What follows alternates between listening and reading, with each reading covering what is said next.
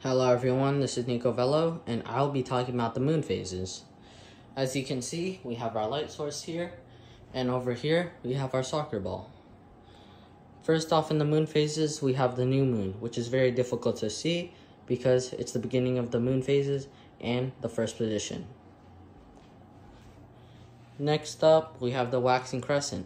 In this moon phase, we can see at a slight angle a sliver of light from the right side and on the left side we see darkness appearing while the light is partially lighting up on the right side. Next up we have the first quarter. As you can see it shows half light and half dark. Dark being on the left side, light being on the right side. After that phase we have the waxing gibbous. In this stage we see more than half a circle but not nearly a full circle.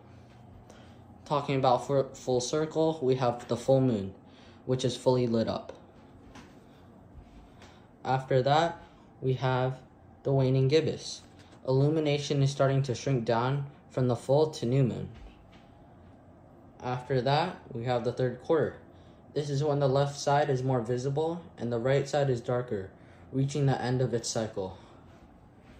Going back to see the last position, we have the waning crescent.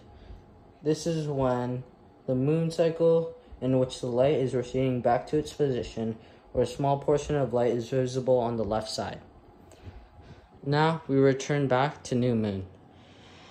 Ultimately, we notice that the moon is half lit. And thank you. Bye.